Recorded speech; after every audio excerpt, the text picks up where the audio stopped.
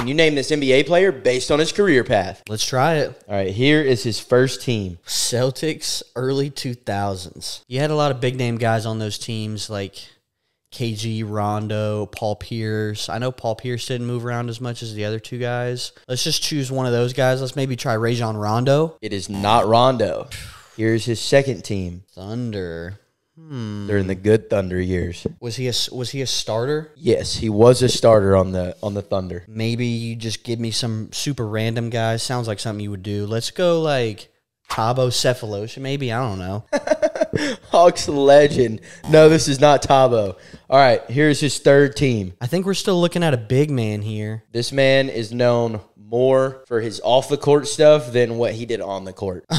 Oh, okay. I think I think we're still looking at a big man. So let's try let's try KP Kendrick Perkins. this is Big Perk. Let's go.